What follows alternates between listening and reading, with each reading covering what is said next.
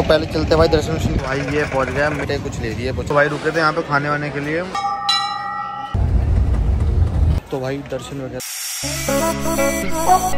Very good morning अब हो चुकी है। रात में मैंने आपको महाकौल लोग दिखाया था ये भी काफ़ी सुंदर था काफ़ी खूबसूरत लग रहा था भाई। रात में तो पूरी तरह लाइटें लाइट लगी हुई थी। टी शर्ट इस वाली टी शर्ट ली थी कुछ भाई।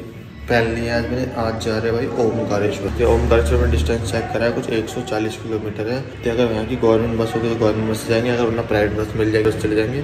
तीन घंटे का कुछ रास्ता है। तीन घंटा अप्रॉक्स लग रहे हैं। तीन घंटा ये एक तरफ़ से, दूसरी तरफ़ तीन घंटा चार घंटे तीन चार घंटे रुकेंगे मतलब सेम डे आज ही की वापसी है वहाँ से। आज ही रुकने हुई, वहाँ पे मैटर है नहीं। एक ही दिन आएँगे एक दिन में वापस करेंगे अभी चलते हैं पहले कुछ यहाँ से नाश्ता वास्ता करेंगे, ना यहाँ से बस। बस स्टैंड पर जाके, बस स्टैंड से बस मिलेगी, मैं दिखा दूँगा आपको कैसे कैसे जाना है कितना कितना फेयर रहेगा।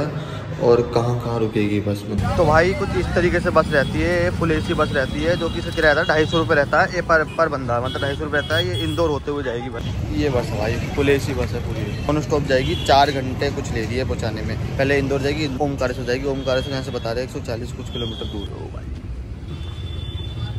तो भाई कुछ इस तरीके से है टिकट मतलब तीन जने हैं साढ़े सात सौ रुपये लग रहे हैं मतलब पर बंदा ढाई सौ रुपये है।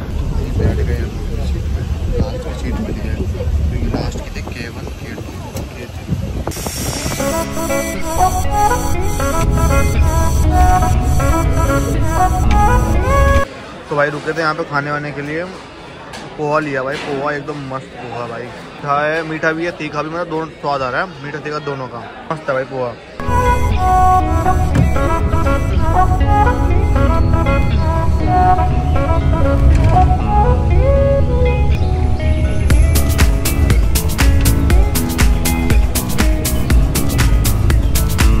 भाई साढ़े चार घंटे करने के बाद अब पहुँच गए भाई फाइनली से बस स्टैंड पे। तो ये ऑटो ऑटो जाएँगे ऑटो से जाएँगे मंदिर की तरफ़। थोड़ा एक किलोमीटर होगा, यहाँ से एक किलोमीटर दूर होगा। धूप बहुत तेज हो रखी है भाई यहाँ पे। अभी बस वाला यार कभी धीरे धीरे चला के लेके आया भाई। चलते आगे थोड़ा सा, हम बैठते हैं।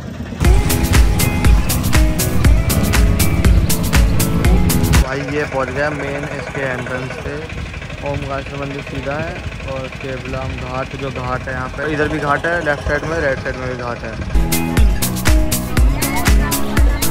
तो भाई ये कोई ब्रिज सा है ब्रिज के ऊपर से पार करके उस दूसरी साइड है मंदिर जो है। पार करके फिर नर्मदा माता बह रही है नर्मदा माता है, नीचे ब्रिज पूरा है, उधर पूरा डैम बना रखा है।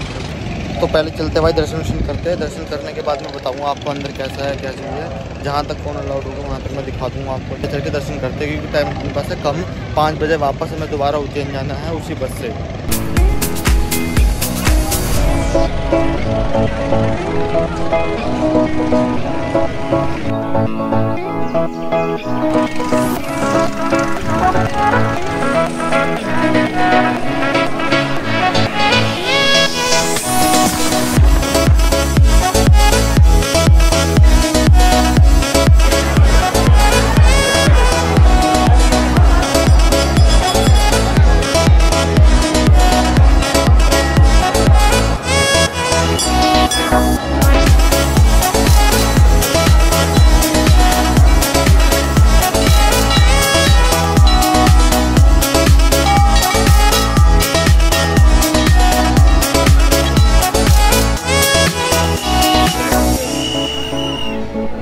भाई दर्शन वगैरह अच्छे हो गए, ऐसे हो गए। साढ़े चार घंटे में नंबर आया था बाबा का जो श्रृंगार होता है ना, चार बजे से लेकर सवा चार बजे मतलब पौन घंटा बंद कर देते हैं। उनका बाबा का श्रृंगार होता है, आरती होती है दोबारा मतलब यहाँ पे थोड़ा रूल रेगुलेशन है।